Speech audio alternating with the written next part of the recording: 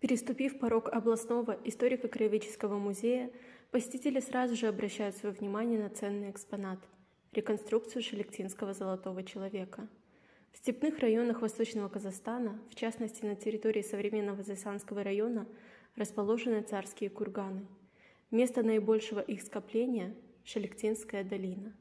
К шелектинским погребениям относятся около 50 курганов – еще каких-то 60 лет назад эти курганы не были известны, и местные жители, принимая их за земляные насыпи, использовали их в хозяйственных целях.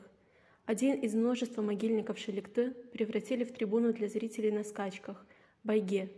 Отсюда возникло и название – Байге-Тобе. Именно в нем находилось самое древнее царское погребение на казахской земле, относящееся примерно к VIII веку до нашей эры – в 2003 году в долине Шеликты начались раскопки под руководством доктора исторических наук, археолога, профессора Абдеша Толюбаева.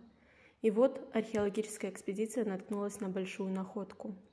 Курган, именующийся в народе Байгетобе, имел высоту 8 метров, диаметр около 100 метров и состоял из трех уровней. Самый верхний уровень состоял из грунта, дерна и щебня вперемешку с песком.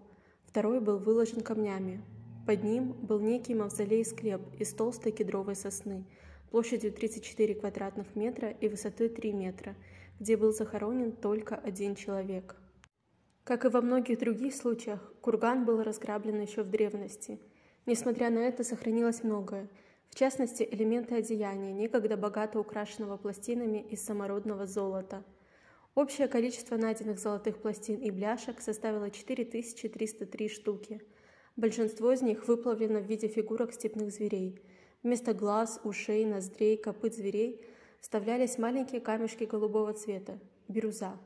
Встречаются изображения барса, архара, оленя, горного козла, медведя, волка, беркута. Одна из любопытных находок – это пятиугольная звезда. Основа ее – золото, лучи сделаны из голубого лазурита.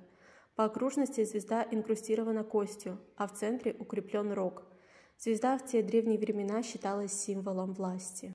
Абдеш Толеубаев предполагает, что это было захоронение древнего царя, правителя, и что грабители вынесли из кургана такие ценные вещи, как кинжал, меч и шейную гривну.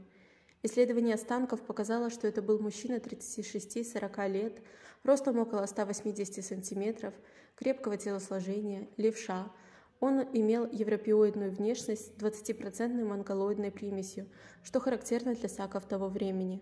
Обнаруженные кости не имели изъянов и повреждений, что говорит о том, что шлектинский золотой человек умер своей смертью и не участвовал в сражениях. Этот памятник ученые называют шелектинским золотым человеком или третьим золотым человеком Казахстана. В нашем музее представлена его реконструкция, выполненная в 2004 году известнейшим казахстанским художником-реставратором, основателем и руководителем научно-реставрационной лаборатории «Остров Крым» Алтенбековым Крымом. Вы можете увидеть эту реконструкцию вживую, придя в наш музей. Не забудьте соблюдать санитарные нормы, надевайте маски и соблюдайте дистанцию.